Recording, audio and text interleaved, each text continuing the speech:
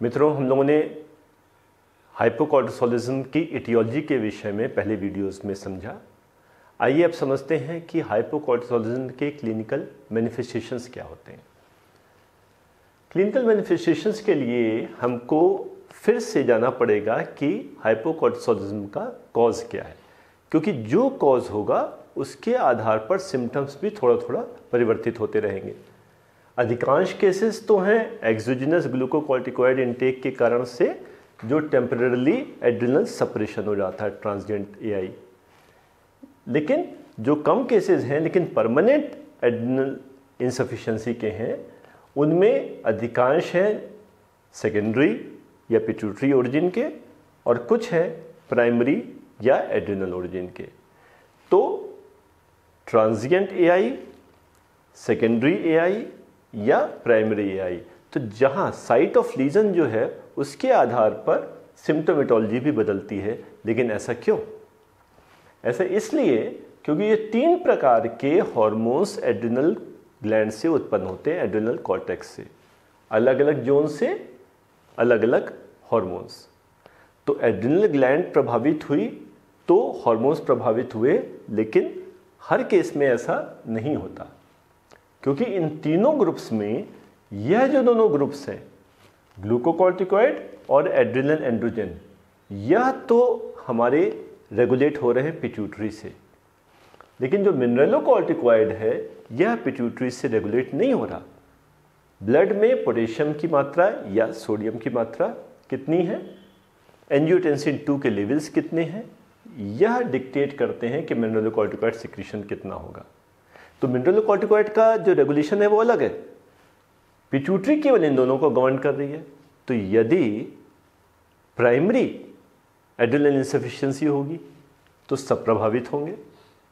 यदि pituitary adrenocortical insufficiency pituitary adrenal insufficiency होगी तो केवल यह दोनों प्रभावित होंगे। यही मुख्य उद्देश्य है कारण को जानने का और कारण को समझने का। तो अगर प्राइमरी एड्रिनल इंसफिशियंसी है एड्रिनल ग्लैंड की अपनी प्रॉब्लम है तो ग्लूकोकॉर्टिकॉइड मिनरलोकॉर्टिकॉइड एंड्रोजन सब प्रभावित होंगे सबके सिक्रीशन कम हो जाएँगे। जबकि अगर सेकेंडरी एड्रिनोकॉर्टिकल इंसफिशियंसी है तो ग्लूकोकॉर्टिकॉइड एंड्रोजन प्रभावित होंगे, लेकिन मिनरलोकॉर्टिकॉइड फ़ंक्शंस प्रिजर्व रहेंगे।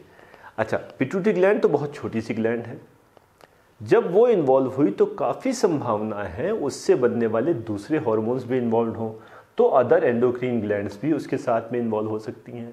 यदि पिट्यूटरी ग्लैंड में कोई स्पेस ऑक्यूपाइंग लीजन है तो वह कॉम्प्रेशन से विजुअल डिस्टर्बेंसेस भी कर सकता है।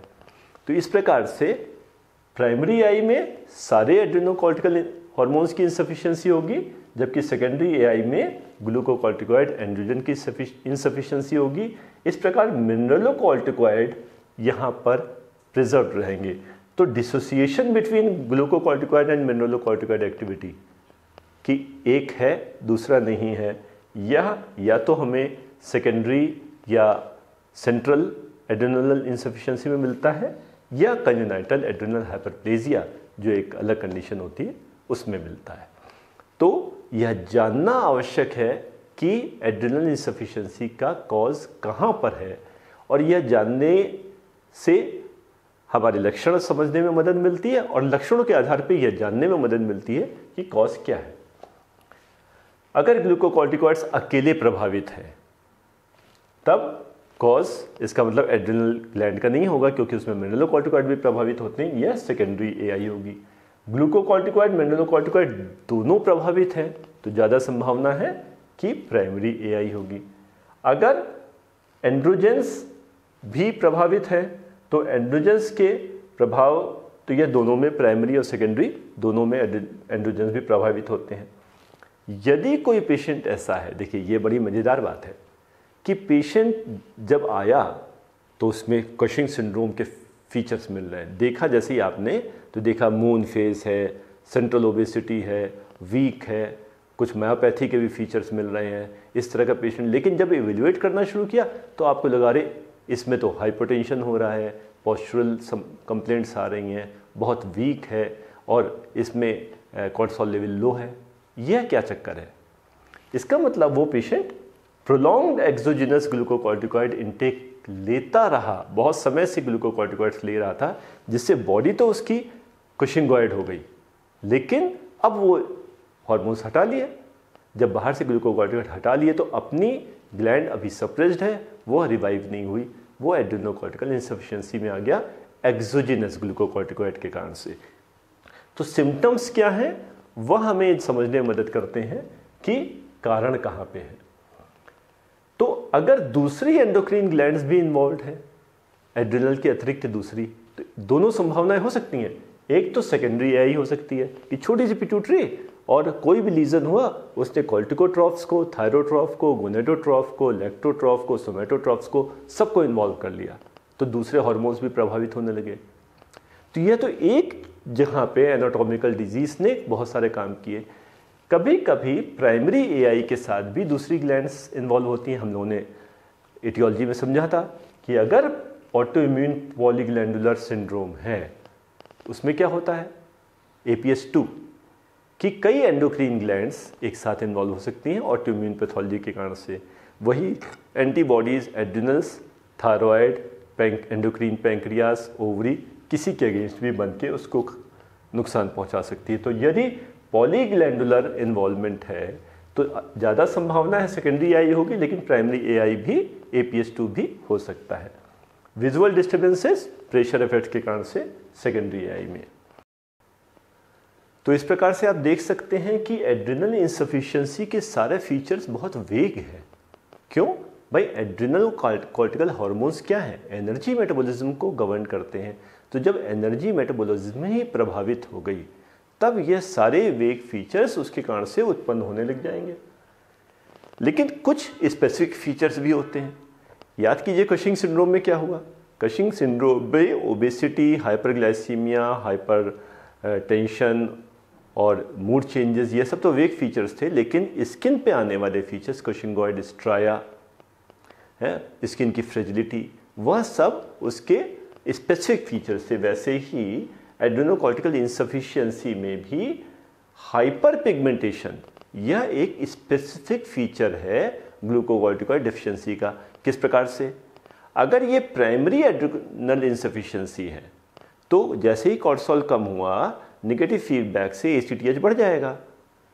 P O M C proopiomelanocortin hormone जो कि एक बड़ी पॉलीपेप्टाइड चेन होती है, उसकी प्रोसेसिंग से एच बना और कुछ fragments M S H melanocyte stimulating hormone alpha beta और गामा वो बने। तो ए सी टी एच और एमएसएच इनकी कंबाइंड मेलेनोसाइट स्टिमुलेटिंग हार्मोन और मेलेनोसाइट स्टिमुलेशन की एक्टिविटी के कारण से हाइपर पिगमेंटेशन मिलने लग जाता है। अब ये हाइपर पिगमेंटेशन दो प्रकार का हो सकता है। एक तो जो हमारे बॉडी के एक्सपोज एरियाज़ हैं, जो जहाँ पे सनरेज सीधी पड़ती हैं face dorsum of hand extensor aspects जहाँ पे wear and tear of friction भी ज़्यादा होता है नकल्स पे एल्बो पे, इन स्थानों पर।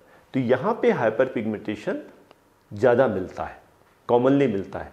लेकिन उसके अतिरिक्त यह तो है थोड़ा नॉन स्पेसिफिक पॉइंट्स जो स्पेसिफिक पॉइंट्स हैं नॉन सन एक्सपोज एरियाज़ पे निपल एरियोला वेजाना के चारों ओर, जो पेरीएनल एरियाज़ पे म्यूकोस मेम्ब्रेन पे, चाहे ओरल म्यूकोसा की हो या जेनाइटल म्यूकोसा की हो या स्कार्स के तो इनके जो पिगमेंटेशन है, यह स्पेसिफिक फीचर्स माने जाते हैं प्राइमरी एड्रेनोकॉर्टिकल इंसफिशियंसी में हाइपर पिगमेंटेशन जो एसीटीएच के कारण से होता है।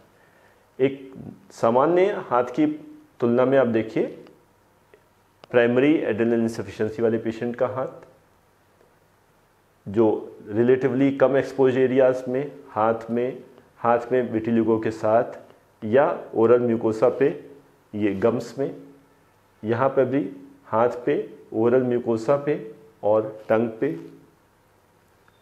जनरलाइज सन एक्सपोज एरियाज़ में और ओरल म्यूकोसा में तो यह जो हाइपर पिगमेंटेशन मिल रहा है प्राइमरी एडल इंसफिशेंसी के केसेस में, यह एक स्पेसिफिक फीचर ग्लूकोकॉर्टिकॉइड डिफिशियंसी का माना जाता है। ऑन द कॉन्ट्रेरी अगर एड्रिनल अगर पिट्यूटरी ओरिजिन की एड्रिनल इंसफिशियंसी है सेकेंडरी एआई वहाँ पे ए सी टी एच कम होगा। तो वहाँ ए सी टी एच कम होने से पिगमेंटेशन कम होने लग जाता है। तो बॉडी पेल हो जाएगी। तो खास तौर से क्या कहते हैं, एल्बस्टर लाइक पेलनेस एल्बस्टर किसको कहते हैं? मुल्तानी मिट्टी को। तो जो मुल्तानी मिट्टी का फेस पैक लगाते हैं हम, वो बिल्कुल उसमें कोई जो नॉर्मली हम लोग गेहुआ, जो ब्राउनिश जो व्हीटिश कलर है हमारा, वो नहीं होता। बिल्कुल पेल फीकी होती है। वैसे स्किन पड़ने लग जाती है अगर सेकेंडरी एआई का केस है। ये अभी तक सिम्टम्स थे सारे ग्लूकोकॉर्टिकॉइड इंसफिशियंसीज के। आते हैं अब मिनरलोकॉर्टिकॉइड इंसफिशियंसी पे। मिनरलोकॉर्टिकॉइड इंसफिशियंसी में बॉडी में सॉल्ट और वाटर रिटेन नहीं हो पाएगा, उसकी कमी से सॉल्ट की कमी और डिहाइड्रेशन यह मुख्य रूप से होने लग जाते हैं। तो अब जब सॉल्ट की कमी हुई तो व्यक्ति की इच्छा होगी वो भोजन में सॉल्ट ज़्यादा ले। बीपी कम होने से giddiness low BP postural hypotension late के एकदम से खड़े हुए तो चक्कर आ गया, आँखों के आगे अंधेरा आ गया। यहाँ तक कि हाइपोनेट्रीमिया के कारण से नोजिया वोमिटिंग एब्डोमिनल पेन तक शुरू हो जाते हैं। अगर बायोकेमिकली हम बात करें तो हाइपोनेट्रीमिया और तो सोडियम तो लूज हो गया सोडियम वाटर और पोटेशियम रिटेन हो गया एल्डोस्टेरोन कम होने के कारण से। यह वो फीचर्स होते हैं जो मिनरलोकॉर्टिकल इंसफिशियंसी में आने लग जाते हैं। अब यहाँ पे एक चीज़ आपने नोट की होगी लो ब्लड प्रेशर को हमने ग्लूकोकॉर्टिकॉइड डिफिशियंसी का भी फीचर बताया और मिनरलोकॉर्टिकॉइड डिफिशियंसी का भी फीचर बताया। यह तो समझ में आता है कि मिनरलोकॉर्टिकॉइड डिफिशियंसी हुई सॉल्ट एंड वाटर रिटेन नहीं कर पाई बॉडी इनको लॉस हुआ, जिसके कारण से लो बीपी हुआ। लेकिन ग्लूकोकॉर्टिकॉइड डिफिशियंसी में बीपी कम क्यों हुआ? यह एक महत्वपूर्ण तथ्य है, जिसको याद रखना आवश्यक है। हम लोगों ने पहले भी डिस्कस किया था कि ग्लूकोकॉर्टिकॉइड्स कैटाकोलोमीन्स की जो उनका प्रभाव है वेसल्स के ऊपर, जो वेसल्स एक अपनी टोन में रहती हैं, वेस्कुलर कॉन्ट्रेक्शन, कैटाकोलामीन मीडिएटेड उसके लिए ग्लूकोकॉर्टिकॉइड्स की आवश्यकता होती है क्योंकि ग्लूकोकॉर्टिकॉइड्स एक परमिसिव इफ़ेक्ट रखते हैं कैटाकोलामीन्स के वेजोकॉन्स्ट्रिक्शन पे। तो अगर ग्लूकोकॉर्टिकॉइड डिफिशियंसी हुई तो क्या होगा? वेसल्स की जो टोन थी वो खत्म हो जाएगी, वेसल्स डायलेट कर जाएँगे डायलेट कर जाएँगे बीपी लो हो जाएगा। तो इस प्रकार से लो बीपी एक मिनरलोकॉर्टिकॉइड डिफिशियंसी का लक्षण भी हो सकता है। अगर मिनरलोकॉर्टिकॉइड्स नॉर्मल हो तो ग्लूकोकॉर्टिकॉइड डिफिशियंसी का भी लक्षण हो सकता है। तो यह एक महत्वपूर्ण तथ्य है जो हमको याद रखना चाहिए। अब आते हैं तीसरे एड्रेनोकॉर्टिकल हार्मोन पे एंड्रोजेंस एंड्रोजेंस की डिफिशियंसी अगर है तो यह पुरुषों की अपेक्षा महिलाओं में ज़्यादा उसके लक्षण उत्पन्न होंगे। ऐसा क्यों?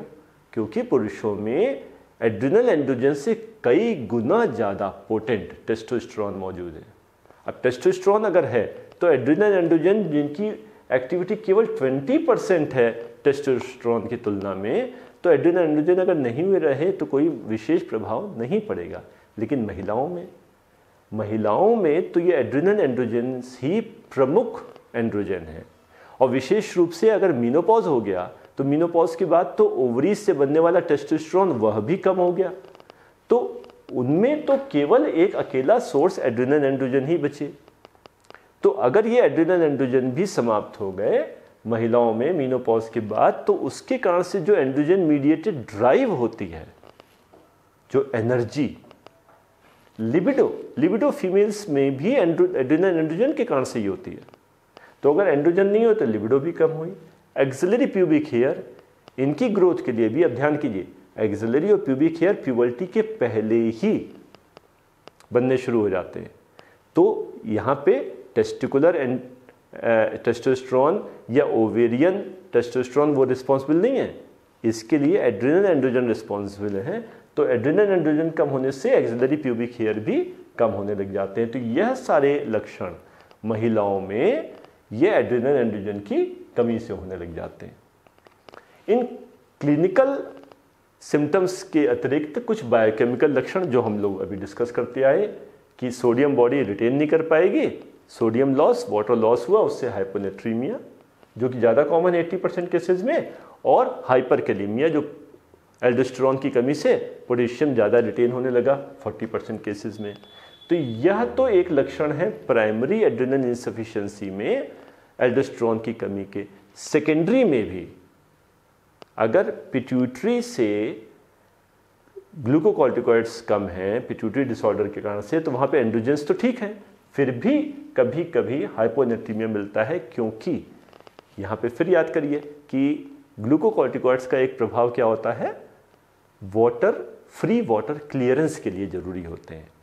तो जो ग्लोमुलर फिल्ट्रेशन पर कॉर्टिसोल का परमिसिव इफ़ेक्ट होता है। तो अगर कॉर्टिसोल कम हुआ तो फ्री वाटर क्लियरेंस भी कम हो जाएगा। शरीर में थोड़ा वाटर रिटेन करता है। तो अगर सेकेंडरी एआई में वाटर रिटेंशन जो थोड़ा बहुत होना शुरू हुआ, उससे डाइल्यूशनल हाइपोनेट्रीमिया होने लग जाएगा। A partial सियार्ड like situation syndrome of inappropriate ADH तो अब बात आई कि हाइपोनेट्रीमिया यह हमारा मिनरलोकॉर्टिकॉइड डिफिशियंसी में भी हाइपोनेट्रीमिया यह हमारा ग्लूकोकॉर्टिकॉइड डिफिशियंसी में भी, क्योंकि ग्लूकोकॉर्टिकॉइड डिफिशियंसी में फ्री वाटर क्लियरेंस ना होने के कारण से डाइल्यूशनल हाइपोनेट्रीमिया मिलने लग जाता है सीआर लाइक स्टेज के कारण से। तो अब सेकेंडरी अगर एड्रेनल इंसफिशियंसी इसके फीचर्स क्या होंगे? सेकेंडरी एड्रेनल इंसफिशियंसी में मिनरलो मिनरलोकॉर्टिकॉइड इफेक्ट्स थे जो, वह तो नहीं होंगे। ग्लूकोकॉर्टिकॉइड इफेक्ट्स होंगे। हाइपोनेट्री में हम लोगों ने डिस्कस किया कि कभी कभी डाइल्यूशनल हो सकता है।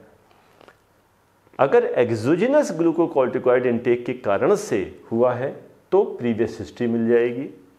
प्रीवियस एक्सपोजर के कारण से कशिंगोइड फीचर्स मिल जाएँगे।